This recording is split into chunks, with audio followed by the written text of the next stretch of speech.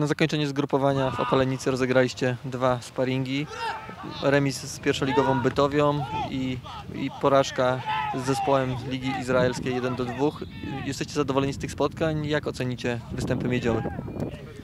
No, trzeba powiedzieć, że troszkę inaczej się przygotowywaliśmy do pierwszego spotkania, inaczej do drugiego pod względem taktycznym. Inne były założenia, chcieliśmy sobie tutaj e, co innego zrealizować i inaczej ustawić przeciwnika i pod kątem realizacji założeń taktycznych myślę, że naprawdę wypadło to obiecująco. Oczywiście w pierwszym meczu no, wielka szkoda, że, że nie strzeliliśmy tam bramki, pomimo tego, że że były sytuacje i tak naprawdę no, no to nasze rozegranie ćwiczyliśmy gdzieś do 16 metra, bo tam już y, czegoś zabrakło, czyli konkretnie wykończenia.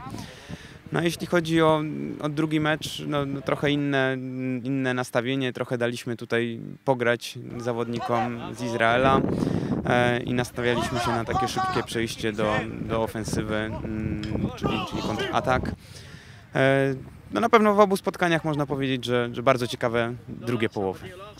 Liga zbliża się wielkimi krokami. W ostatnich meczach Zagłębie bez zwycięstwa to powód do niepokoju dla kibiców, którzy, będą, którzy śledzą wyniki ostatnich sparingów. No wiadomo, że kibice śledzą wyniki i dla nich gdzieś tutaj odwzorowaniem jest, są, są te liczby. E, no my patrzymy szerzej. No bez, oczywiście przygotowujemy się na sezon, tak, a nie przygotowujemy się do pierwszego meczu, więc no, trenerzy zawsze patrzą szeroko i, i daleko i dbamy o to, żeby, żeby ta forma po prostu była u zawodników przez dłuższy czas. No przez to nie przygotowaliśmy się konkretnie do tych meczów, tylko patrzyliśmy gdzieś dalej. Występowaliśmy w tych meczach na zmęczeniu, zawodnicy byli po ciężkich jednostkach, także no nie chodziło nam o to, żeby tutaj zluzować i wygrać jeden sparring, tylko żeby myśleć o, o, o takim mm, siłowym e, przygotowaniu na większą ilość meczów. Tym młodym zawodnikom, którzy trenują z Wami, coraz częściej zdarzają się błyski na boisku. Czy, czy oni ustabilizują tą swoją formę i, i częściej można będzie obserwować ich dobre zagrania? No miejmy nadzieję. Na pewno ten dzień dzisiejszy, mogę to tak powiedzieć naprawdę z czystym sumieniem, że on napawa optymizmem, bo widać, że, że kilku z tych zawodników no naprawdę potwierdza tutaj mm, czasami potwierdza, no, być może stabilizuje właśnie formę, być może adoptuje się do tych wymagań, bo to też są często wymagania e, siłowe.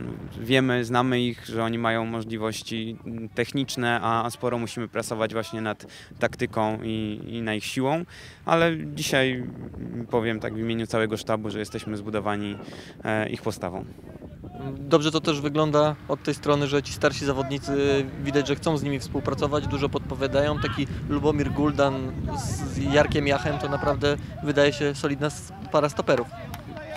Jak najbardziej. No, można nawet śledząc ten nasz skład, można do tego mm, no, pokusić się o takie stwierdzenie, że gdzieś mamy tutaj taką drużynę pół na pół, czyli takie równomierne rozłożenie e, tych, tych zawodników bardziej doświadczonych i tego powiewu młodości. Wiadomo, że, że w rozgrywkach pierwszoligowych na boisku będzie musiał występować jeden młodzieżowiec. Tutaj mamy ich zdecydowanie więcej, bo, bo w jedenastce na boisku na ogół przebywa ich pięciu czy sześciu.